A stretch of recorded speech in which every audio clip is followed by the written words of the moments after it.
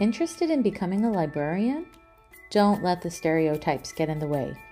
Anyone can be a librarian. In this video, I'll go over how to become a librarian, types of librarianship, what we do all day, and helpful skills.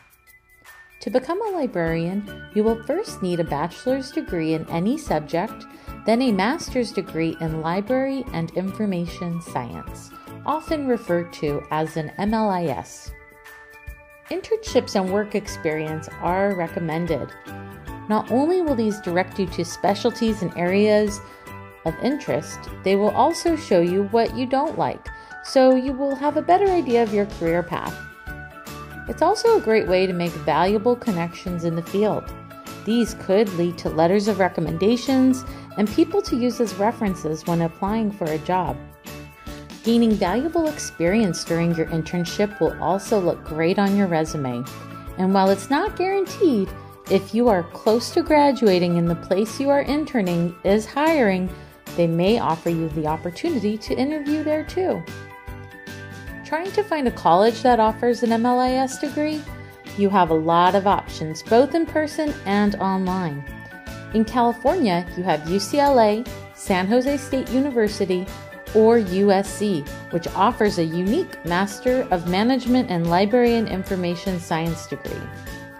However, there are several other out of state programs available that are either fully or mostly available online as well. Check with a librarian or counselor for more information and to see which option is right for you. There are several types of librarianship and even non library opportunities you can do with an MLIS degree. In this video, I'll try to cover some of the more popular options for librarians. This includes public, school, academic, archivist, and special libraries like private, corporate, medical, law, museum, etc. And what do we do all day? While a lot of the work we do is similar, it can vary quite a bit depending on which direction you choose. So let's do an overview of each of these. Within public libraries, you are serving the local community. This includes working with children, young adult teens, adults, or seniors. Most public libraries also have an archives, which contains local city history.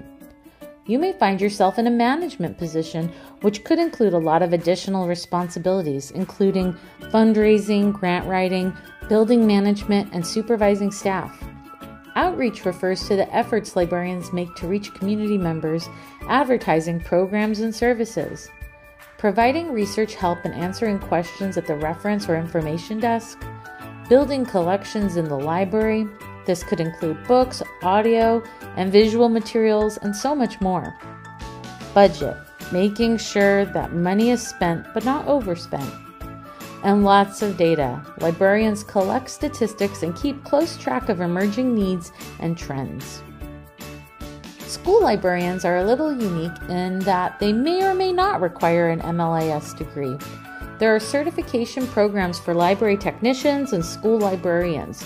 Check with a librarian or counselor for more information on this. School librarians are often a solo librarian, meaning they wear a lot of hats in their library. Much like public librarians, they provide research help, collection development, maintain a budget, develop policies, procedures, and statistical reports, and might supervise and train staff or volunteers. Additionally, school librarians might plan classroom visits and conduct instruction sessions on how to use the library. Academic librarians are those librarians who work in higher education, colleges, and universities. Much like the other librarians we talked about, academic librarians also participate in collection development, maintain budgets, provide outreach, and plan programs and events. But teaching is a big part of the academic librarian's job. They often teach four credit classes as well as what's known as the one shot, a one time presentation to a class about how to conduct research and improve critical thinking skills. Academic librarians also provide research help at the reference desk and are constantly designing learning tools such as research guides, tutorials, and videos like this one. Most academic librarians also go through the tenure process, which means they get evaluated at their job, often conduct original research, publish papers, and present at conferences. An archivist is a type of librarian that specializes in the preservation and access of historically significant materials. This could include documents, audiovisuals, or any type of artifact. Archivists often have unique training and expertise in the preservation of these materials and in cataloging to create finding aids for these materials so that they're searchable. Archivists can work in public libraries, academic libraries, or in special libraries such as private, corporate, medical, law, museums, and more. Librarians in these positions often do some of the things previously mentioned, but they also usually have specialized subject knowledge. Thinking of becoming a librarian? Here are some helpful skills to have and develop as you pursue this career path. Did I mention we also know how to have fun?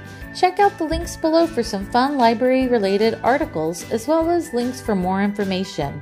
You can also contact a librarian, the Career Planning Center, or our counseling department for more information on how to become a librarian.